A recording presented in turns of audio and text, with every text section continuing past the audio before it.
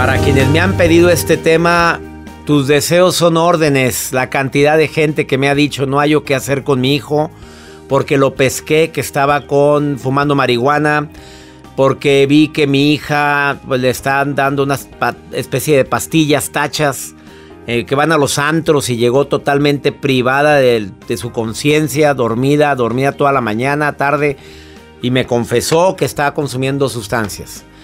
El alcohol, la marihuana, la cocaína, la heroína y tantas, tantas sustancias destruyen, lo hemos oído tantas veces. Eh, conocí a un experto en adicciones, Omar Villarreal, que tiene un centro de adicciones en mi amado México, específicamente en Torreón, Coahuila, y me quedé sorprendido de que más de 5 mil personas han pasado por estos centros de rehabilitación, que es como una especie de casa de retiro donde durante 90 días promedio se queda el joven, el adulto, la niña, la mujer, obviamente protegida, pero con una tecnología y con un sistema que está comprobado que puede ayudar a quitar estas, estos vicios. Hoy lo invité para que me platicara sobre qué hay detrás de una adicción, cuando la gente cae en adicciones, Omar. Bueno, gracias por la invitación. 20 eh, años de experiencia, eres psicólogo. 20 años psicólogo, especialista en adicciones. Eh, en salud mental y pues tenemos eh, varios buen recorrido en esta área, ¿no? A ver, ¿qué hay detrás de las adicciones? ¿Por qué la gente de repente cae en adicción? ¿Qué es lo que, pues lo que puede llegar a concluir después de 20 años? Hay muchas teorías. Yo creo que eh, uno de los papeles importantes es, es la familia y creo que el rol importante que jugamos la familia, que juega la familia en las adicciones, tiene tiene en específico una característica de, ser a veces cómplice y, muchas de las veces sentirse que fueron los culpables de, esta parte y, fueron solapando, fueron generando. Yo creo que, siempre existió este mito de, creer que, eran, que, era un vicioso y que podía lograr ah, salir en, en cualquier momento. Muchas de las veces lo vemos en casa, lo vemos tan natural, casi, casi en todas las adicciones, es porque en casa hubo algún problema con... O sea, hay broncas familiares y puede desatar adicciones. Yo creo que, que ese, eh, eh, la gran mayoría de las personas dice que las familias disfuncionales tiene que haber adicciones, pero pues yo no creo que exista... No todos, no podemos generalizar. no, no hay familias disfuncionales porque pues todas funcionan a, pesar de su disfuncionalidad. bueno, que había escuchado eso. A ver, señales de alarma de que se me hace que mi hijo, mi hija, mi pareja está consumiendo drogas. Vámonos en caliente, ya. Sin calzón quitado, papito. Cuidadito cuando qué. Cuando eh, empiezan a aislarse, cuando empiezan a tener eh, este, problemas con, la interacción. Yo creo que una de, de las partes que tenemos los padres que, que tener es esa, esa cercanía con ellos, diálogo, y si nos enteramos que consume, la primera reacción que tenemos como padres es enojo y rechazo. Y yo creo que una de las partes es empezar a tener esa, no ser amigo de ellos, porque creo que hoy en día está muy de moda ser amigo de ellos y, empezar a platicarle el, problema de las drogas, o sea, cuál es, el, las reacciones que pueden tener.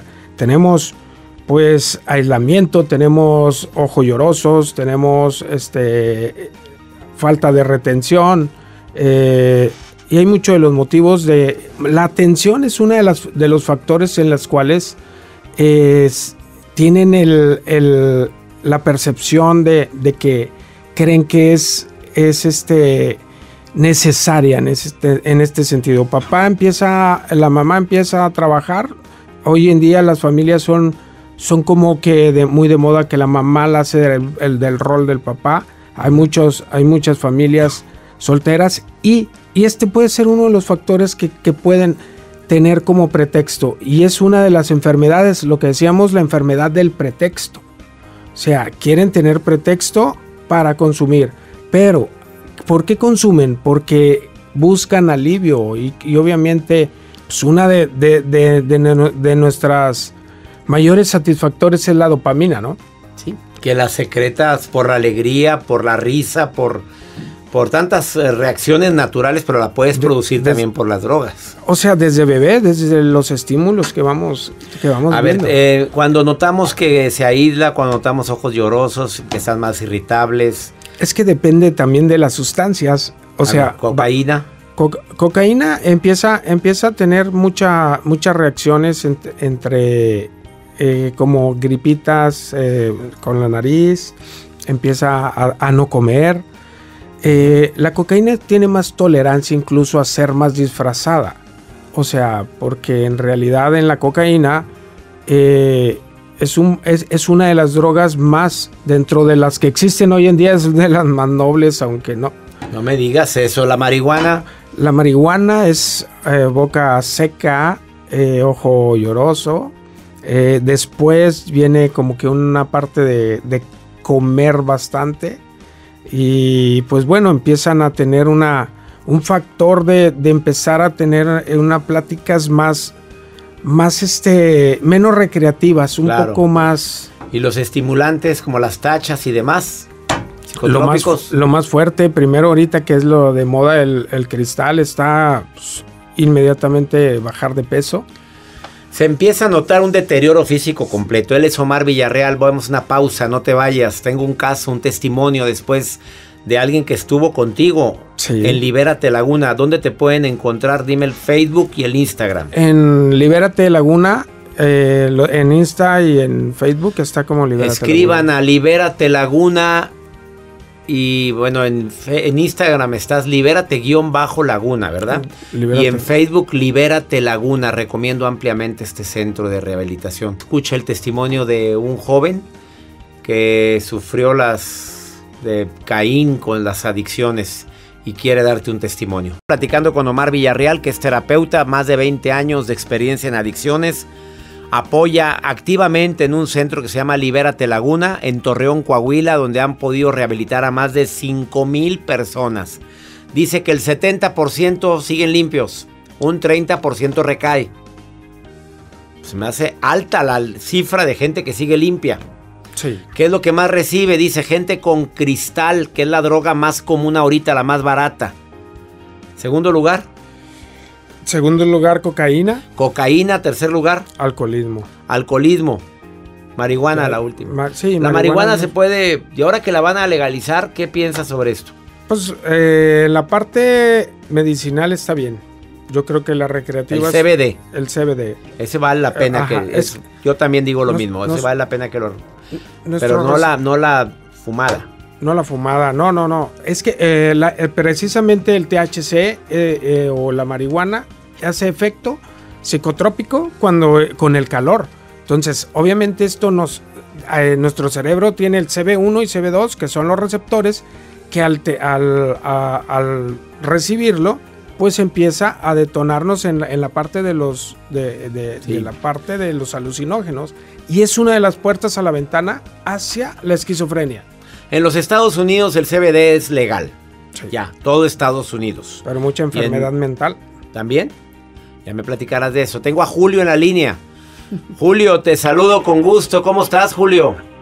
Eh, es un placer, es un placer atender su llamada y pues eh, nos encontramos bien, bien, bien, gracias a, a ver, platícame un poquito de tu vida. Eh, obviamente es bastante. ¿Cuántos años tienes, Julio? tengo 39 años. ¿Cómo caíste en las drogas, Julio? Mire, este, mi adolescencia tal vez fue en aquellos años eh, en la ciudad de Tijuana, que fue donde yo empecé, como se dice, un calvario, sí, este, un joven sin límites. Yo he escuchado ahorita que muchas de las veces dicen que viene de familias disfuncionales, ¿verdad? De que un adicto, pero en mi caso yo tenía un padre y una madre muy unidos. Soy el mayor de tres de tres hermanos y pues caigo en las drogas este por por investigar ¿verdad? por sentirme parte de tal vez de un grupo de que entre comillas amigos y sentirme aceptado sí pero y empiezo a consumir este sí en aquellos años a mí no se me habló tal vez a veces yo platico con mis padres no se me habló de los riesgos que existían en la vida, ¿verdad? Tal vez de que había drogas que podían ser fatales. pero cuando menos pensé yo ya estaba muy enganchado con el cristal en aquellos años, ¿sí? Este, teniendo 14 años, 15 años, este, consumo pues casi al diario, ¿verdad? Eh, eh, abandono la escuela, mi, en ese entonces la secundaria, y pues ahí empieza una vida de Julio de adicciones, ¿verdad? Eh, cristal, cocaína, marihuana, y pues sí, en verdad es, es un sufrir, un sufrir muy, muy, muy feo, este, ver cómo tus padres, tus hermanos sufren por la adicción de, de uno mismo, ¿verdad? Porque pues de ser un muchacho, un joven, y está muy metido hasta el tronco, como se dice en las drogas, este, es algo muy triste, la verdad. ¿Cuánto tiempo duraste en el mundo de las drogas, Julio? Aproximadamente yo duré 17 años en el mundo de las drogas.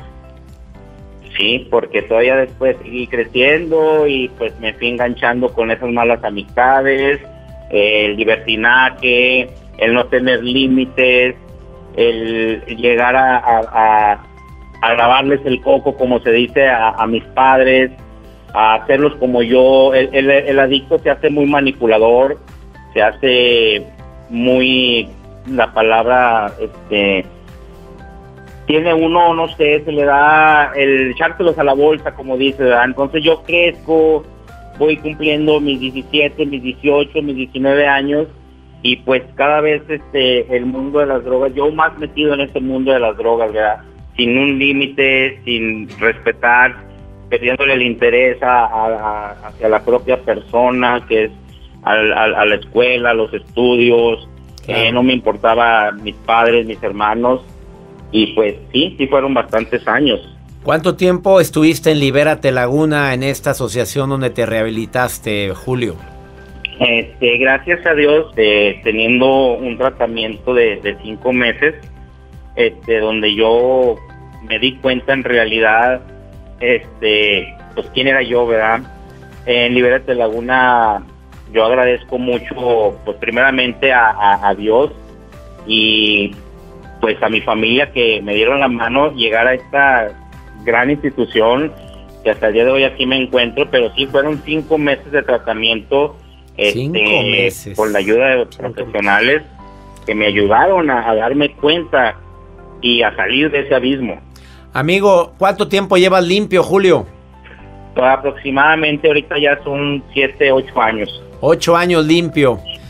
Julio, bendiciones para ti. Doy gracias a Dios por esta nueva etapa y esta segunda oportunidad de vida que tienes, Julio. Muchas gracias, doctor. y pues, este, yo también pues quiero decirle a todos los jóvenes que sí se puede, ¿verdad? a veces este piensa uno que la vida no le va a cambiar, pero llegan esos cambios a la vida. Este quisiera que todos los jóvenes este tuvieran la oportunidad que yo tuve. Así es. Te mando un abrazo, mi querido Julio. Gracias por participar y compartir tu testimonio aquí en El Placer de Vivir. Fue un placer. Hasta luego. Hasta pronto. ¿Qué sientes rápidamente en 30 segundos? ¿Qué sientes de escuchar esto? Pues yo creo que hay pagos, hay algo que, no se puede pagar con nada en el mundo. Y esto es, algo, imagínate cambiar la vida de un joven, siete años limpio. Siete años limpio. Hay más, hay quienes tienen. Vamos con pregunta corta, respuesta corta, porque hay muchas preguntas para ti después de esta pausa, pero es pregunta corta, respuesta corta, porque si no, no la libramos. Eh, ¿Te interesa conocer esta asociación, sientes que tu hija, tu hijo, tu esposo, tu pareja o tú tienes un problema grave con las drogas o el alcohol, Libérate Laguna, Facebook. Libérate guion, bajo laguna, Instagram. Ahorita volvemos. El tema del día de hoy, libérate de las adicciones ya. Dediqué todo el programa para hablar sobre este importantísimo tema y las preguntas no se hacen esperar. Hay una pregunta aquí que se repite. Yo consumo marihuana, pero la puedo dejar cuando me dé mi gana. Es es, eh, es incorrecto. Yo creo que eh, nos va generando esa dependencia y más cuando tenemos esa, esa eh, de, fugarnos de la realidad. O sea, o sea no, no te puedes liberar tan fácil. No.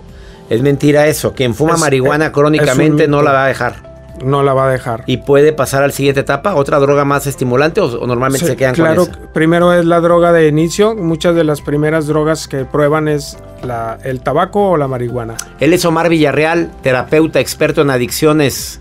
Participa con la Asociación Libérate Laguna en Torreón, Coahuila, que si recibes gente de los Estados Unidos. Claro que sí. Sí, tenemos mucha gente de Estados Unidos de Estados Unidos, de Sudamérica, también de República Dominicana, viene gente de, de, todas partes del mundo, que sí es muy caro el tratamiento de 90 días. No, no, el tratamiento de 90 días es algo muy, muy accesible y creo que por el beneficio o las técnicas de vanguardia que tenemos nosotros, que somos pioneros en, en realidad virtual como, como tratamiento en adicciones, esto pues lo, trabajamos desde hace más de 10 años, hoy en día es una de nuestras herramientas, es proceso de eh, vínculo, este, eh, es, el, eh, abrir la ventana del recuerdo y la extinción. O sea, es algo... O sea, te vas al pasado, abres la ventana donde empezó todo, lo sanas y ah, sí, qué fuerte. son terapeutas todos ellos. Somos uno de los pioneros. Nosotros llegamos a, ponerlo, a mandarlo a Europa, a, Barcelona. El proyecto tuyo de, rehabilitación. Sas culebra. A ver, más o menos cuánto sale. Es 90 días incluye que incluye la comida, incluye todo. Estás internado. Nuestro, tratamiento fue basado en el modelo Minnesota, pero fue modificándose en base a que las, las adicciones o las drogas fueron avanzando. O sea, yo creo que es un modelo de mixto de autoayuda profesionales, es una enfermedad multifactorial. las disciplinas tienen que ser yo, yo en conjunto tengo que trabajar con neurólogos, psiquiatra, eh, terapeutas, como la parte de, los que hacen la estimulación transcranial, las psicólogas que hacen las pruebas, los test y la, filosofía de 12 pasos, que es la parte de los, de los pacientes que lo hacen MIC, que, que lo, lo que le da el toque esencial que es, la autoayuda, ¿no? Un adicto para otro adicto, lo decía eh, en la parte del doctor, el doctor Bob y Bill W. Pero bueno, nuestro, nuestro proceso es prepararlos desde yoga en la mañana, tener de su desayuno, su alimento, tener este, terapia grupal, tener una colación para que el cerebro tenga alimento, tenga proteína, tenga recaptación y su parte cognitiva esté bien. Luego viene la parte de, de, hay, talleres, presentaciones de pasos, este, tienen horticultura. Hasta ahí déjalo. Hasta donde va, me parece fabuloso el proyecto de Libérate Laguna. Preguntas, Joel. Doctor, por acá nos ponen a través del WhatsApp. He notado a mi pareja extraño y presiento que está tomando drogas. No sé qué hacer. ¿Le pregunto o no le pregunto? Pero no lo acepta. Dice, ya le, le preguntó una vez y que no lo aceptó. Claro, una, una, de, uno de los de, es que no, no van a tener conciencia. Yo creo que nunca hay conciencia eh, de parte del de, alcohólico. No tiene sentimientos en ese sentido. El sistema límbico está ganando. O sea, el placer está ganando en este sentido. Y, y uno de, de, los factores de que, que, tenemos, que se puede hacer en esta parte es de eh, hablar con él y decirle cómo se siente. Es, es uno de, los, de las recomendaciones, es decir, hablar con él y decirle cómo se siente y, y aún así vamos a batallar un poquito porque no hay conciencia, su, su razonamiento, su parte del sistema límbico va a ir hacia el placer. Son muchas preguntas, ya no, tengo oportunidad de contestar todas. He notado a mi pareja extraño, encontré a mi hijo en el pantalón un cigarro de marihuana, él lo niega, lo va a seguir negando. Claro. A ver, ¿se puede llevar a fuerzas a alguien? Sí, es... es ¿A eh, fuerzas? Eh, eh, son involuntarios y voluntarios y forzosos. ¿A poco recibes gente que no quiere entrar y lo meten ahí a fuerzas? El DSM-5 dice que es un, que es un trastorno a sustancias. y que requiere ayuda. Que no puede tomar decisiones. Ah, caray, primera asociación que me entero yo que los puedes meter a fuerzas. Yo no sabía eso. ¿Oyeron, señoras? Señores. Si hay una orden de un psiquiatra, sí. Que necesitas una orden de un psiquiatra. Mi pareja consume cocaína y no sé si ayudarlo o lo dejo con la adicción o, lo dejo a él. Pues si no quiere ayuda, pues oye, ¿qué quieres hacer? ¿Cómo vas a amarrar un pelado? ¿A poco lo, ha llegado hombres así arrastrándose de que ¿Así han llegado? Bueno, no, no. ¿Que los meten amarrados o qué? Eh, cuando, cuando van por la parte que los llevan los jueces, pues los lleva la, la Ah, autoridad. bueno, pues sí. Ya entendí, ya entendí. Mi hijo tiene un amigo que usa el cristal, me da mucho miedo cuando sale con ese grupo de amigos. Le hice estudios y salió negativo. Bueno, muchas de las veces, eh, hoy en día las drogas no son, son, eh, por ejemplo, el cristal nada más dura 24 horas en el, en el, en el- Qué organismo. Entonces él puede hacerse la prueba de orina y ya lo, ya lo de, desechó todo. Hay muchos tips, por ejemplo, pueden llevarse en, ya en la parte de, de los calcetines preparado otro tipo, si es, si es un, anti, un antidoping de orina, se lo llevan en otra parte, también se puede... No, y le Sí. piden la orina al amigo, hombre. Si veas todo lo que hacen hasta el hermano, por favor, dame. El A ver, vinagre, ya, ya pregúntele a él todas las preguntas. Son demasiadas las El que están llegando. ¿El qué? el vinagre también disfraza. El vino. No estés dando ideas, tú, hombre. Libérate Laguna Facebook o libérate guion bajo Laguna. Esto no está pagado, eh, que quede claro. Simplemente Gracias. porque sé de casos de personas que estuvieron ahí y se han rehabilitado. Por eso lo invité. Esto no es Qué ninguna amable. publicidad. Así es que, por favor, aclaro eso. Mi gente de los Estados Unidos, ¿pueden viajar a México? Aquí tiene una asociación en Torreón, Coahuila. Mi gente de México, de República Dominicana, de Centro Sudamérica, quieren una asociación durante 90 días puedan internar a alguien y salir limpio. Por favor, hazlo por amor. Gracias por